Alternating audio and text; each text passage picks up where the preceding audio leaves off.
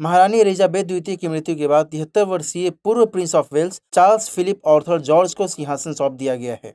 Saint James palace में एक भव्य कमरे में एसेसन काउंसिल की बैठक हुई, जिसमें चार्ल्स को राजा घोषित किया गया। परिषद की बैठक के बाद क्लर्क ने घोषणा की कि Prince Charles Philip Arthur George अब हमारे राजा चार्ल्स बन गए हैं। आज चार्ल्स ने आधिकारिक तौर पर नए राजा के रूप में शपथ ली है। उन्होंने शपथ लेने के बाद कहा कि वह अपने कर्तव्यों और संप्रभुता की ज़िम्मेदारी से अवगत हैं और वो इसे पूरी ज़िम्मेदारी के साथ निभाएँगे। उन्नीस सौ बावन से ड्यूक ऑफ़ कॉर्नवॉल और ड्यूक ऑफ़ रोथेसे के रूप में वह ब्रिटिश इतिहास में सबसे लंबे समय तक रहने वाले उत्तराधिकारी थे।